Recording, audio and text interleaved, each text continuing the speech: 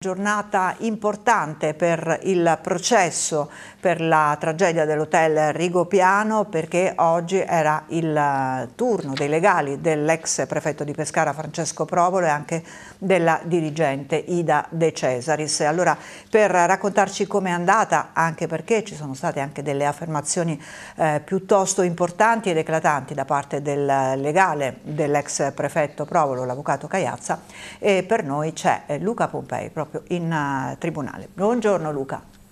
Buongiorno Marina, un saluto a tutti gli amici telespettatori. Oggi si dovrebbe chiudere eh, la parte relativa agli avvocati difensori dei 30 imputati al processo per la tragedia di Rigopiano e, e si chiude con due imputati eccellenti, l'ex prefetto della, di Pescara Francesco Provolo e la dirigente Ida eh, De Cesaris. Mattinata caratterizzata dalla lunga ringa del noto avvocato romano Gian Domenico eh, Cagliazza in difesa appunto di Provolo e De Cesaris.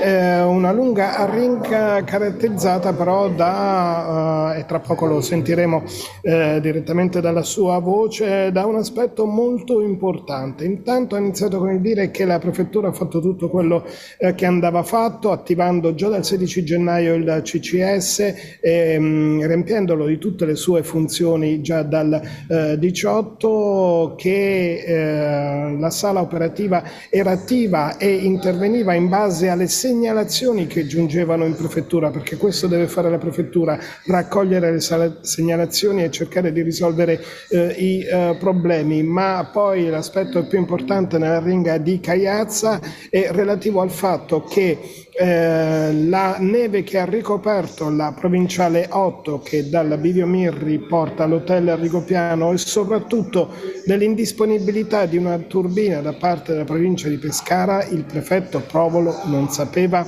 nulla, ehm, scagliandosi indirettamente nei confronti non solo della provincia di Pescara ma di alcuni suoi dirigenti che avrebbero trattato in una uh, ristretta cerchia di persone appunto queste informazioni eh, senza informare la prefettura di quanto stava accadendo soprattutto nelle ore eh, precedenti drammatiche alla uh, tragedia di uh, Rigopiano. Um, sentiamo allora l'avvocato Gian Domenico Cagliazza che spiega questo importante eh, aspetto e poi la linea può tornare allo studio.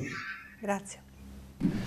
Nessuno ha mai informato i tavoli, diciamo così, eh, organizzati dalla prefettura secondo eh, gli obblighi di legge che sono stati puntualmente eseguiti dal prefetto, nessuno ha mai fatto pervenire nemmeno la più pallida informazione situ sulla situazione che si andava complicando sulla, sulla provinciale 8. Certamente non il 16 perché d'altronde non stava accadendo nulla, non ancora il 17 quando era stata uh, liberata, non il 18 quando invece vi è traccia ampia che il problema comincia a porsi, ma si pone tra soggetti che non ne riferiscono, di altri enti che non ne riferiscono in nessun modo né al prefetto né al tavolo dove pure come enti sono presenti.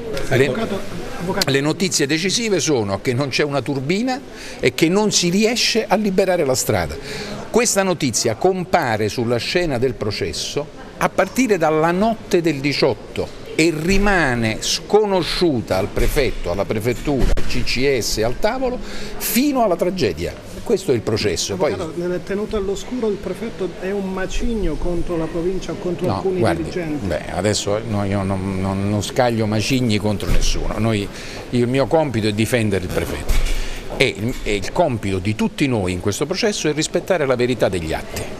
Il prefetto non ha mai saputo in nessun momento A che non ci fosse una turbina in grado di aprire la strada come era stata puntualmente aperta il giorno prima, tant'è che arrivano i clienti eh, il 18, B non ha mai saputo che gli operai addetti a questo avessero eh, valutato che non, non, non c'era possibilità con i mezzi disponibili e che bisognava procurarne una.